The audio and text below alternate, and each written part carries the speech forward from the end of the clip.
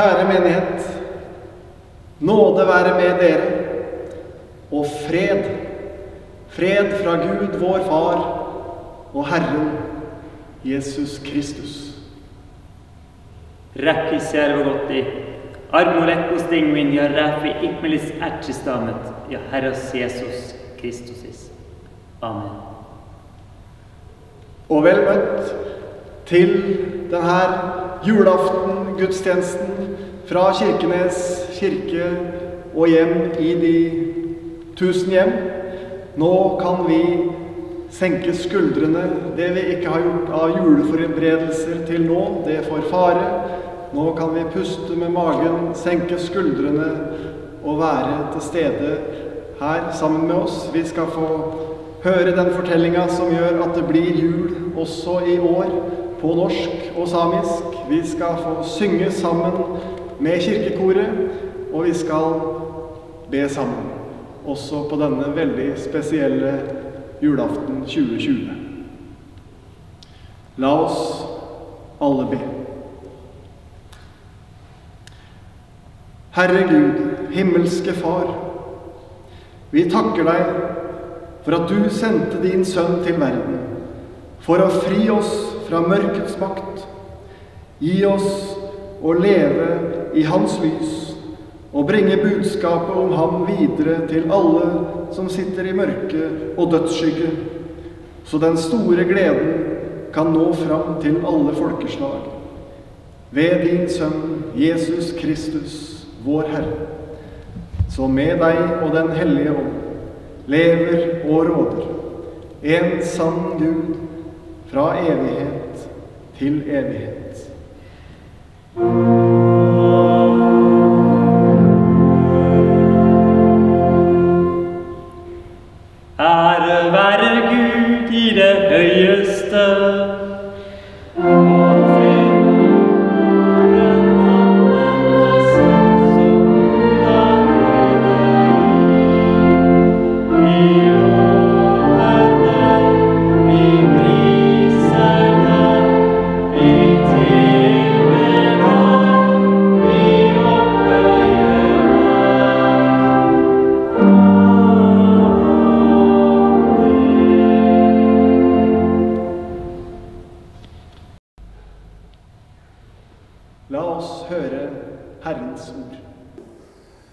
Det skjedde i de dager at det gikk ut befaling fra keiser Augustus om at hele verden skulle innskrives i manntall.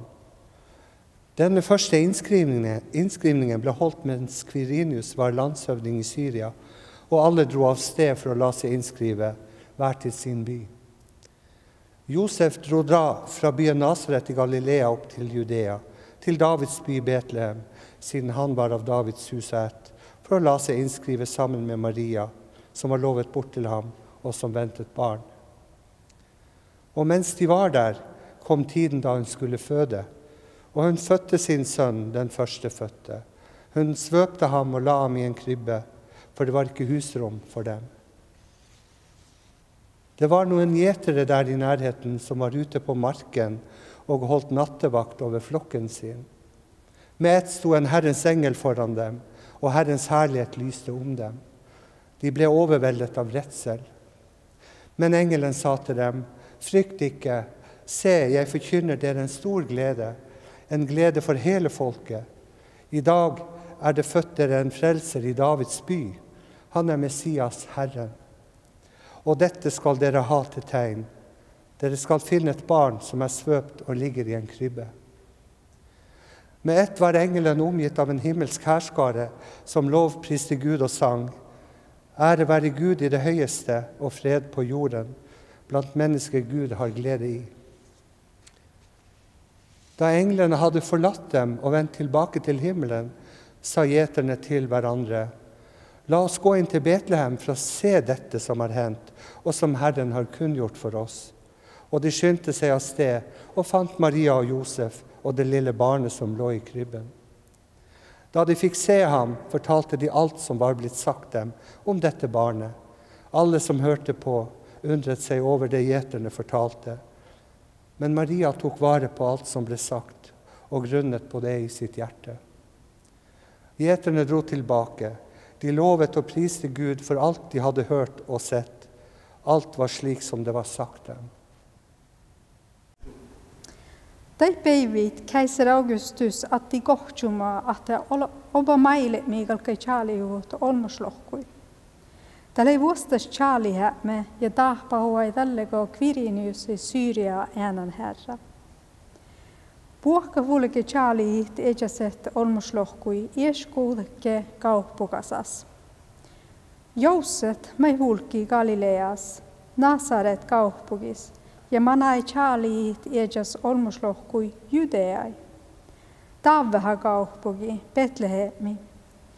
Tänne ko sonlei taaveha viesu ja soka olmos. Son vulkki tohko oktan Mariain. Kilei lohpiduvon sunja ahkan ja lei maanavosta. Ko soi leikka toppe te tievai aiki, ahte Maria kai regalahtit. Ja son regalahti partnis, ostaskegad som ger sig mana ja biaisu kroppai, tasko sunnuje ilen satsi kossevesus. Tän kuulusletse aatme kähtsit kuolohämmen hääluusit ihku.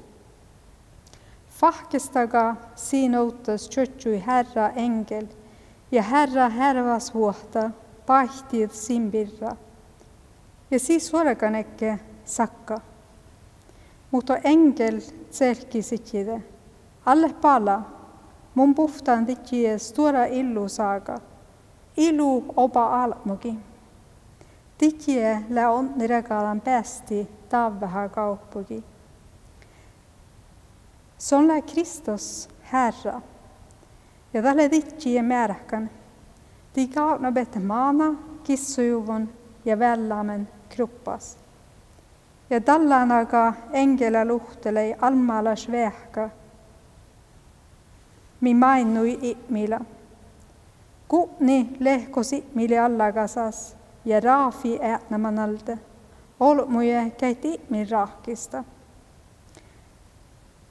Kun enkele lähtsi mannaan, sin luhte alamaifas. Te oamme kehtsit, tatsi kuht koimaseset.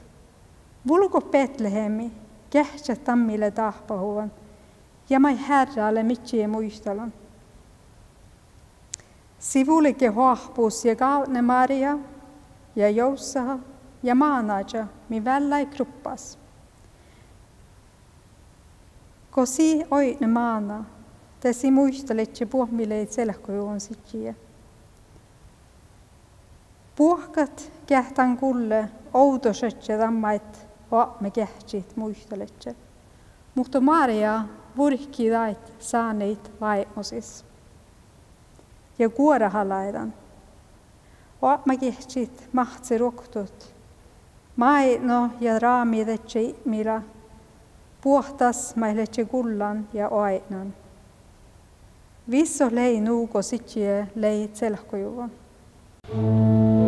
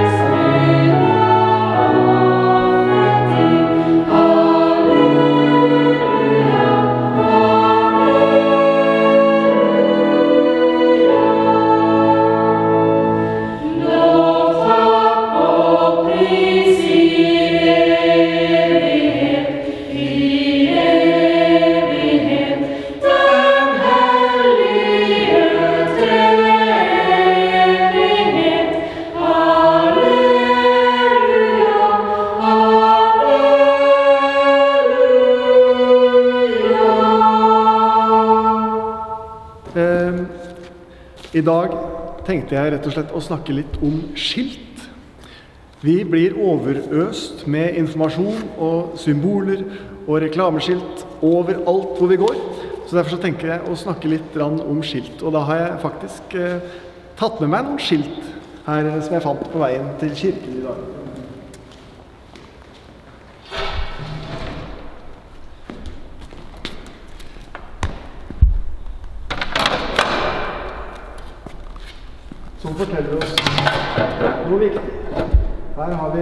Skilt av forskjellige slag.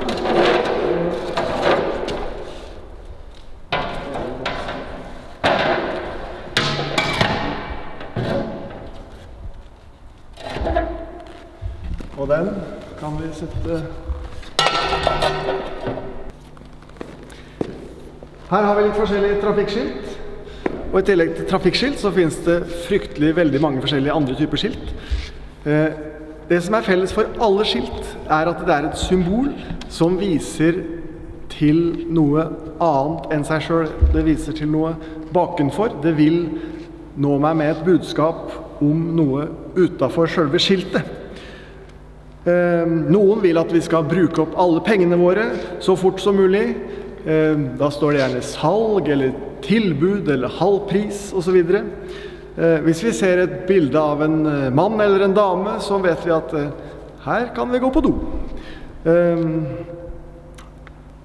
andre skilt står langs veien for å fortelle oss nettopp hvordan veien blir. Eh, om den blir humpete, sånn som her, eller om det er en bratt kant og litt skummel vei, eller om vi må kjøre veldig forsiktig fordi vi kan risikere å støtte på en flokk reinsdyr midt i veien. Eller om vi må kjøre til den ene eller den andre retningen, så er det veldig greit å få beskjed om det ved et skilt. Eh, Vi kan også få vite om den blir svinget eller smal eller bratt eller rask eller Dere vet. Ehm, Hver gang vi kommer til et skilt, så settes vi på et valg. Vil vi følge skiltet, eller vil vi late som ingenting, kjøre vår egen vei og overse skiltet? I det spørsmålet så stiller vi oss også spørs spørsmålet hvilken intensjon har de som har satt opp skiltet? Ønsker de mest mulig av pengene våre, eller ønsker de rett og slett bare å hjelpe oss og veilede oss? Ehm, Det som er felles for alle skilt, er at de fanger, ønsker å fange oppmerksomheten vår. Eh, De står ikke der for sin egen skyld. De peker på noe som er større og viktigere enn seg sjøl. Enten det er et eh, godt tilbud, eller om det er et fareskilt. Men nå lurer du kanskje på i sofaen hva i all verden har disse skiltene med juleevangeliet å gjøre? Ehm, jeg vet ikke hvordan skiltinga var i Judea eh, i år null. Ehm, vil si, jeg vet i hvert fall at det var et stort lyssignal på himmelen som gjorde at de vise menn fant veien hele veien fram til Betlehemsmarken og skjønte at de hadde kommet rett. En kjent julesalme den lyder i sjette vers Stjernen ledet vise menn til den Herre Kristus hen. Og den fortsetter. Men vi har òg en ledestjerne, og når vi den følger gjerne, kommer vi til Jesus Krist. For det er Jesus Kristus sin fødselsdag vi feirer i dag på julaften. Og Jesus ønsker også å vise oss en vei. Jesus er ikke et skilt, men han er en veiviser. Offe Lars. Jesus viser derimot ikke til noe annet, til noe, noen andre eller noe bakenfor. Jesus viser til seg sjøl. Jesus kom som et lite menneskebarn for å vise oss veien til Gud. For å vise oss Gud. Jesus sa, 'Jeg er veien, sannheten og livet. Følg meg.' Vi vet ikke på forhånd hvordan den veien blir. Den kan også bli humpete eller smal eller bratt eller eh, kanskje farlig noen ganger. Men det er den veien som fører til himmelriket, hjem til Gud, vår Far i himmelen. Og i neste verset på den salmen så synger vi Denne stjerne lys og mild, som kan aldri lede vill, er hans guddomsord det klare, som han lot oss åpenbare, for å lyse for vår fot. Og det som han sa, som vil lyse for vår fot, det er annet Et nytt bud gir jeg dere. Dere skal elske hverandre. Som jeg har elsket dere, skal dere elske hverandre, sier han. Og han fortsetter Ved dette skal alle forstå at dere er mine disipler. At dere har kjærlighet for hverandre, til hverandre. Så enkelt og så vanskelig.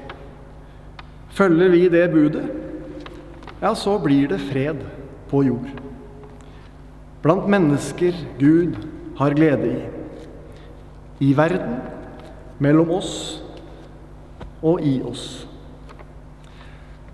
Og så klarer vi ikke alltid det. Så må vi tilgi hverandre og prøve på nytt. Hver eneste dag. Nå er verden midt i en stor pandemikrise. Og det er mange andre kriser også. Det er flyktningekriser og klimakriser. Og det er barn som lider, både i den store verden og her i Kirkenes. Og vi trenger å lytte til han som sjøl var både et barn og en flyktning, men som sa Elsk hverandre. Og som tilgir oss vår skyld, som vi òg tilgir hverandre. Og hver gang noen blir døpt, så får vi ikke akkurat noe skilt, men vi får et symbol. Et tegn som blir tegna over oss, korsets tegn, for at vi aldri skal glemme hvor vi hører til hvor vi er på vei. I Faderens og Sønnens og Den hellige ånds navn, som var og er og blir en sann Gud fra evighet til evighet. Amen. La oss bekjenne vår hellige tro. Jeg tror på Gud Fader, den allmektige himmelens og jordens skaper. Jeg tror på Jesus Kristus, Guds enbårne Sønn, vår Herre, som ble unnfanget ved Den hellige ånd, født av jomfru Maria, pint under Pontius Pilatus, korsfestet, død og begravet, for ned til dødsriket, sto opp fra de døde tredje dag, for opp til himmelen sitter ved Guds, den allmektige Faders, høyre hånd, skal derfra komme igjen for å dømme levende og døde. Og jeg tror på Den hellige ånd, en hellig allmenn kirke, de helliges samfunn, syndenes forlatelse, legemets oppstandelse og det evige liv. Amen.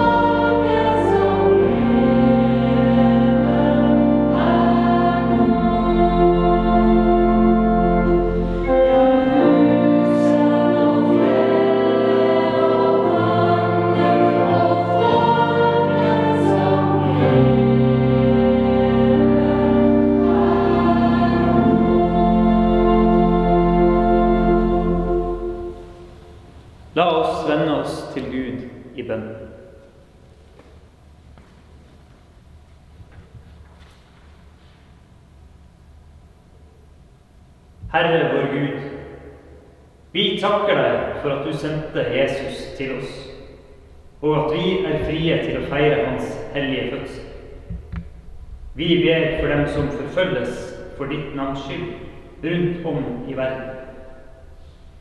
Vi ber for alle som ikke klarer å glede seg til jul, tynget av sorg, skuffelse eller brutte relasjoner. Vi ber for dem som ikke har et arbeid å gå til, og for dem som strever med å få pengene til å strekke til, og for dem som sliter med familielivet. Gi du oss alle trygghet og fred. Det ber vi deg om, Gud.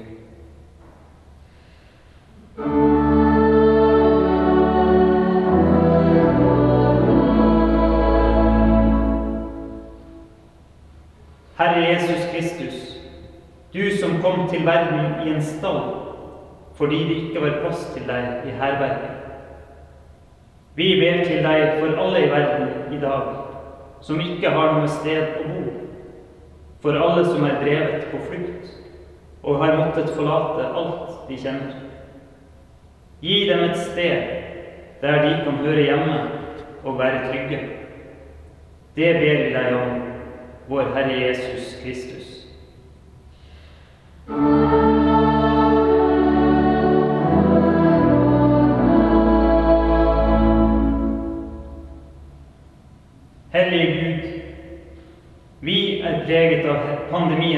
Herjinger.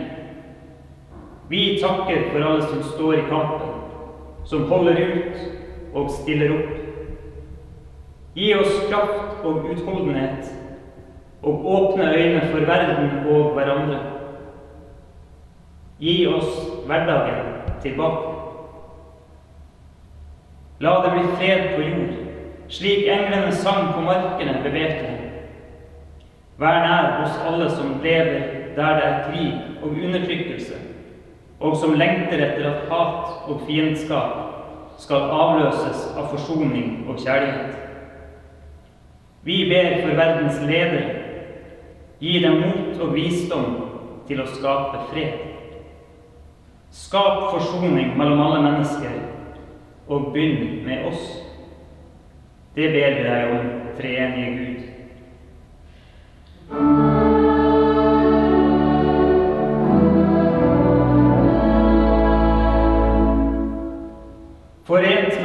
Troende, av alle folk og tungemål, vil vi be til deg slik din sønn har lært oss. Vår Far i himmelen. La navnet ditt helliges. La riket ditt komme. La viljen din skje på jorden slik som i himmelen. Gi oss i dag vårt daglige brød, og tilgi oss vår skyld, slik også vi tilgir våre skyldnere. Og la oss ikke komme i fristelse, men frels oss fra det onde. For riket er ditt, og makten og æren i evighet. Amen.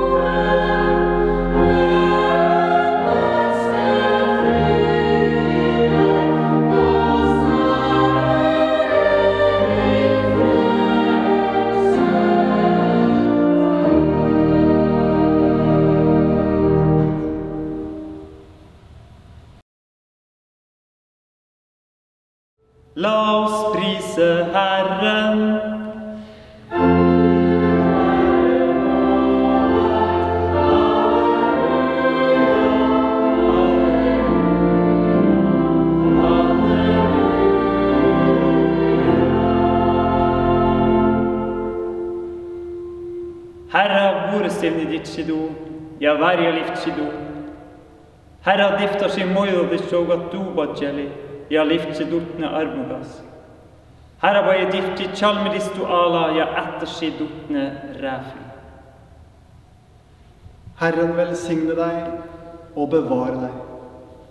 Herren la sitt ansikt lyse over deg og være deg nådig. Herren løfte sitt åsyn på deg og gi deg fred.